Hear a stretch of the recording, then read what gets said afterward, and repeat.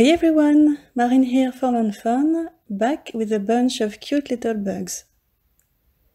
A few weeks ago I created this card. It was inspired by some lovely penguins wandering around the Shedd Aquarium in Chicago. And after I finished that card, I knew that I wanted to use the Build an Aquarium die set again to create vivariums. And you saw it on the thumbnail, the mice family is back, but they're not the stars of the show here. This card is all about cute bugs. So I started by stamping all my images on white cardstock using jet black ink. I used the coordinating dies to cut them all and colored everything using my alcohol markers.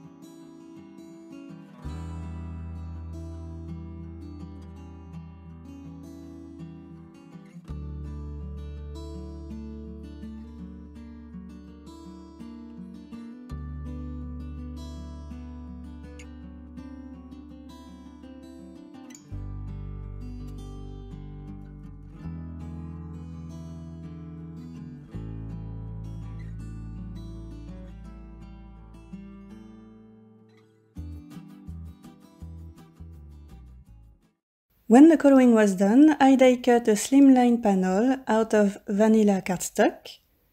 I masked a thin strip at the bottom using washi tape. That strip will be the floor. And I taped the brick stencil on top of the paper to create a nice wall all over the panel. I used walnut stain distress ink and I started by covering the entire panel using my blending tool. And next I came back on a few spots to add more ink and this way create an uneven and more realistic wall. Next I smooshed my walnut stain ink pad on my glass surface. I mixed it with water and used a thin brush to create lots of splatters on my panel. Once the ink was dry, I moved the washi tape and created a very simple floor using antique linen distress ink.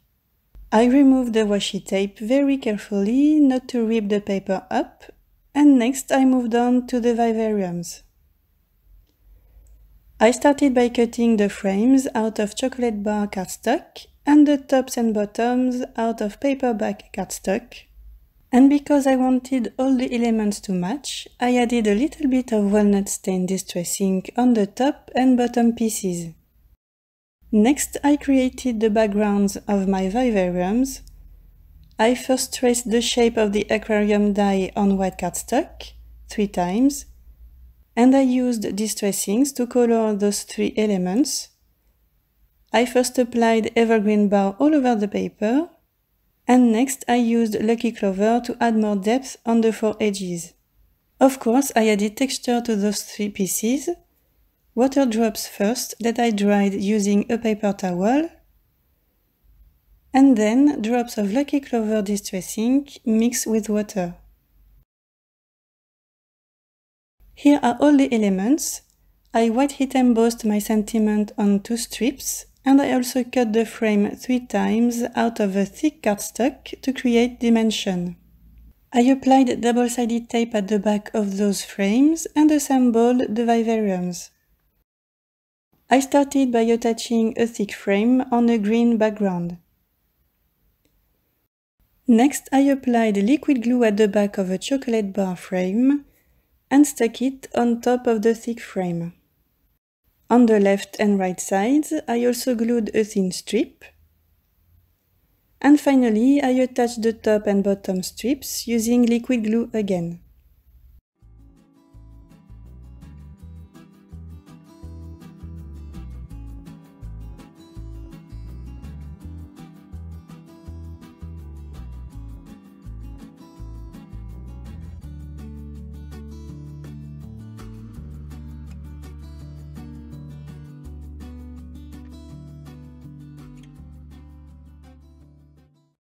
I let the glue dry. I trimmed off the green panel that was peeking out.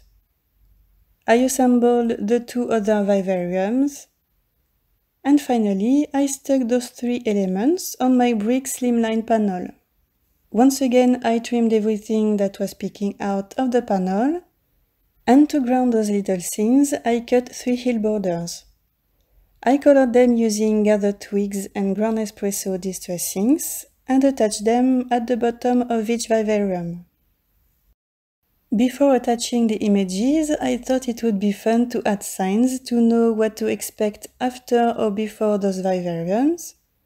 So I used the Harold's ABC stamp set along with the arrow from OpenMe to create those signs. So I stuck those pieces using liquid glue and next I filled up the three vivariums with the images. I mostly use glue dots to stick everything and also a little bit of liquid glue and a few foam squares at some places.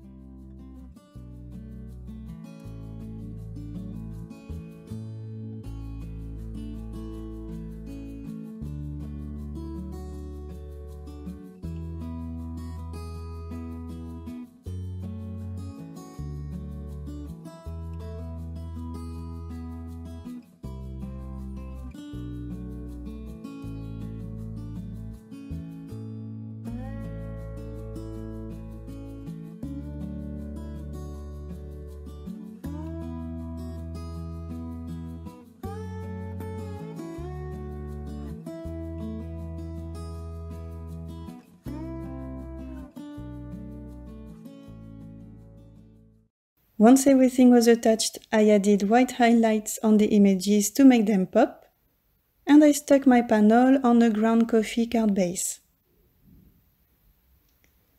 I cut the excess of paper on the right side and use the bone folder to fold the card base nicely. And that's it. This is the final result. So tell me which one is your favorite? And where do you want to go next? The mantis or the spiders? If you look for me, I will be at the snack bar. Thank you so much for watching and see you next time. Bye!